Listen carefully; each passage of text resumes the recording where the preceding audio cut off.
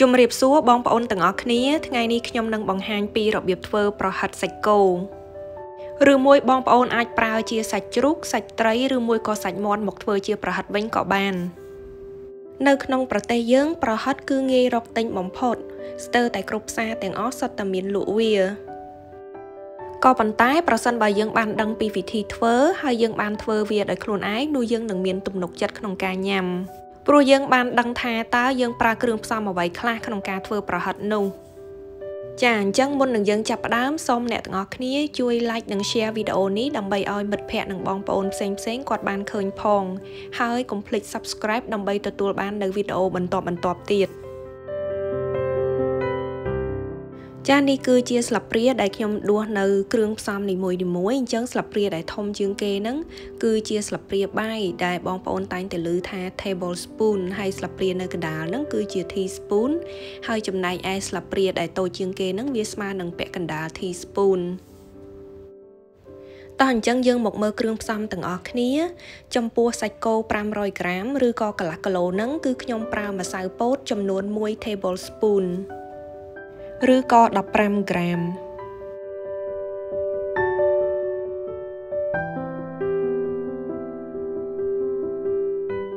ចំណែកឯអំបិលវិញគឺខ្ញុំប្រើកន្លះ teaspoon ឬក៏3ក្រាម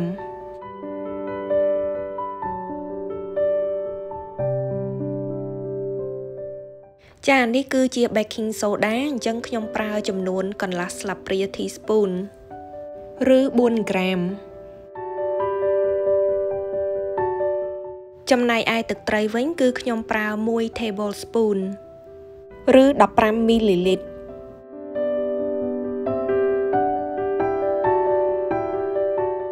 ចំពោះម្រេចម៉ដ្ឋវិញ គឺខ្ញុំប្រើកន្លះស្លាបព្រា teaspoon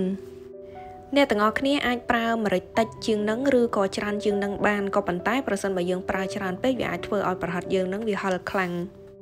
ហើយស្ករសវិញ គឺខ្ញុំប្រើ1 teaspoon កន្លះ ឬក៏8ក្រាម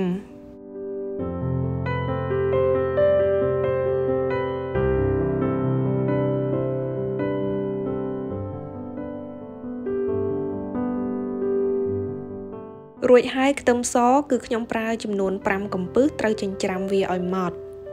ចាឥឡូវនេះគ្រឿងផ្សំផងយើងបានវាល់រួចរាល់ហើយសាច់គោកន្លះគីឡូទឹកត្រីម្សៅពោតស្ករស baking soda ខ្ទឹមសចិញ្ច្រាំ ទឹកត្រជាក់60មីលីលីត្រម្រេចម៉ដ្ឋហើយនិងអំបិល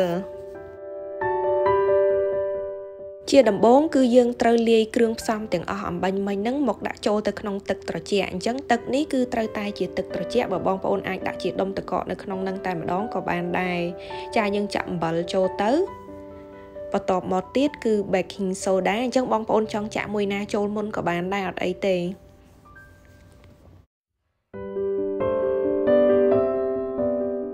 ស្ករស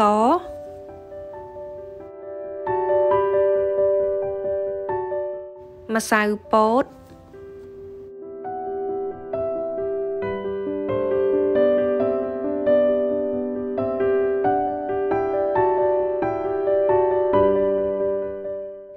ត្រី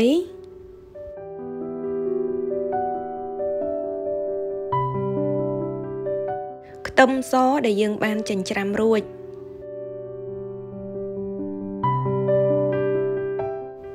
ម្រេចម៉ដ្ឋ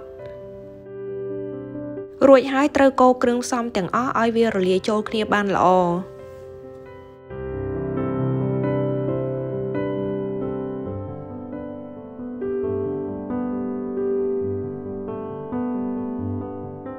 ចាឥឡូវនេះគឺយើងនាំគ្នាមកកិនសាច់គោអញ្ចឹងដើម្បីឲ្យបានប្រហិតមួយដែលមានសាច់វាណែនល្អហើយស្វិតល្អបងប្អូនគួរតែប្រើសាច់គោដែលជាសាច់សុទ្ធចំណែកឯសាច់គោវិញមុននឹងយើងយកវាមកដាក់កិនគឺយើងត្រូវយកវាទៅក្លាសេឲ្យវាកកប្រហែលជា70%អីសិនចាំយើងយកវាមកកិន ប្រសិនបើសាច់គោផុនយើងវាអត់បានកកខ្លះខ្លះអញ្ចឹងទេនៅពេលដែលយើងយកវាទៅធ្វើប្រហិតទៅគឺសាច់ប្រហិតយើងវាអត់បានណែនហើយវាអត់បានស្វិតល្អទេហើយនៅពេលដែលយើងដាក់កិនសាច់ហ្នឹងគឺយើងដាក់ម្ដងបន្តិចម្ដងបន្តិចបានហើយដើម្បីឲ្យសាច់ផុនយើងហ្នឹងកិនបានម៉ត់ល្អ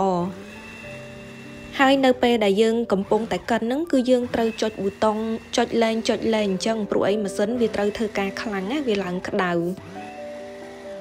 ណាមួយទៀតម៉ាស៊ីនហ្នឹងគឺវារុញសាច់ហ្នឹងឡើងមកលើអញ្ចឹងយើងត្រូវអាសាបើកក្របហើយរុញសាច់ចុះទៅក្រោមវិញ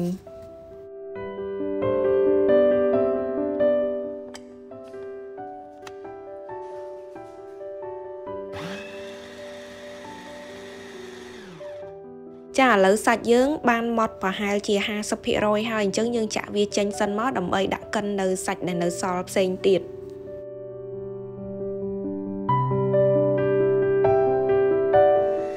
ត្រូវបន្តកិនសាច់នឹងរហូតដល់សាច់យើងអស់ទៅហើយរយៈពេលនៃការកិនសាច់នេះវាអាស្រ័យទៅតាមប្រភេទម៉ាស៊ីនដែរម៉ាស៊ីនខ្លះគឺប្រើពេលខ្លីគឺបានម៉ត់ល្អតែម្ដង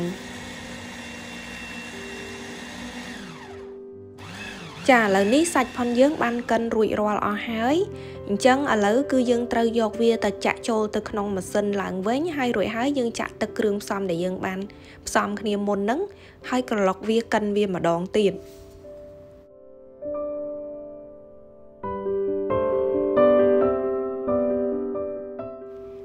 ចាសាច់ប្រហិតផុនយើង គឺម៉ត់ល្អហើយ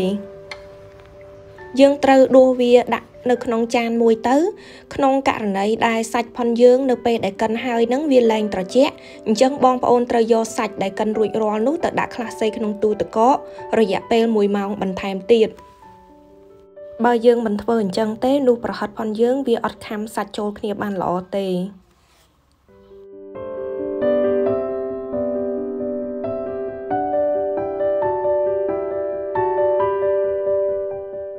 ចាសាច់ផុនយើងបានកិនរួចរាល់ហើយអញ្ចឹងយើងអាចចាប់ផ្ដើមទៅធ្វើប្រហិតទាំងអស់គ្នាចាមុននឹងយើងចាប់ផ្ដើមមូលប្រហិតគឺយើងត្រូវដាំទឹកហើយទឹកនោះគឺមិនតម្រូវឲ្យវាពុះទេគ្រាន់តែចេញចំហាយក្តៅបែបនេះឯងហើយយើងត្រូវត្រៀមទឹកត្រជាក់ជាមួយនឹងស្លាបព្រា មុននឹងយើងចាប់ផ្ដើមមូលនឹងគឺយើងត្រូវយកស្លាបព្រាយើងជ្រលក់ទឹកឲ្យសើមបន្តិចមកហើយចំណែកឯដៃផងយើងវិញក៏ត្រូវសើមដូចគ្នាដែររួចហើយគឺយើងចាប់យកសាច់មួយដុំមកដាក់ចូលទៅក្នុងដៃបែបនេះ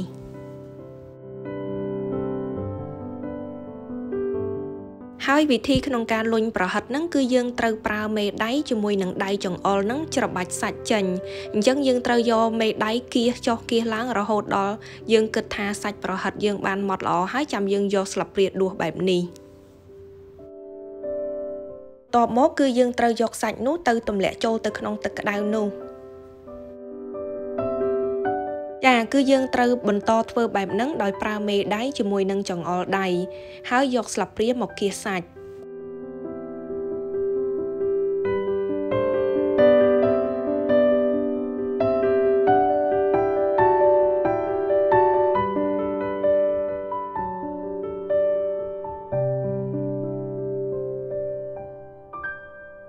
បើសាច់ផុនយើងស្អិតខ្លាំងពេកគឺយើងអាចយកស្លាបព្រាទៅជ្រលក់ទឹកបន្តិចបាន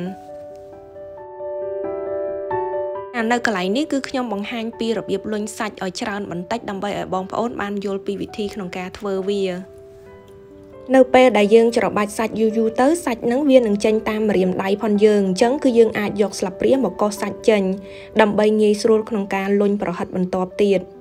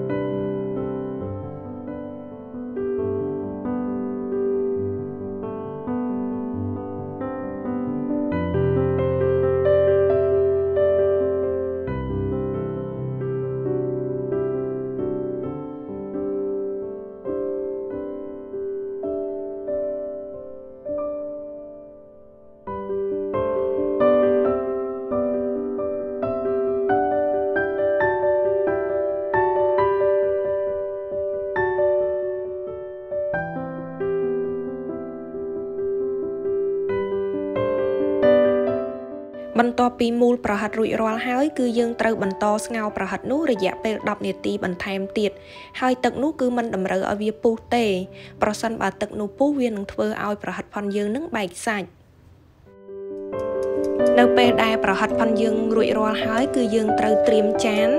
ដាក់ទឹកហើយជាមួយនឹងទឹកកករួចហើយគឺយើងត្រូវស្រង់ប្រហិតនឹងចេញមក យើងធ្វើបែបនេះគឺដើម្បីឲ្យប្រហិតផុនយើងបានស្វិតហើយស្រួយល្អ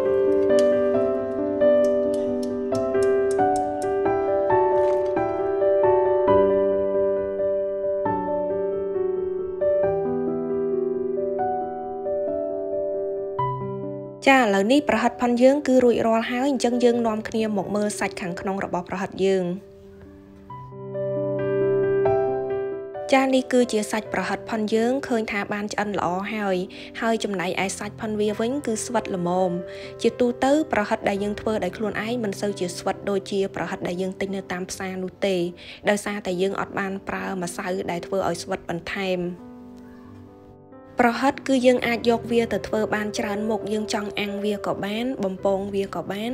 ឬមួយយកវាទៅដាក់នៅក្នុងស៊ុបក៏បាន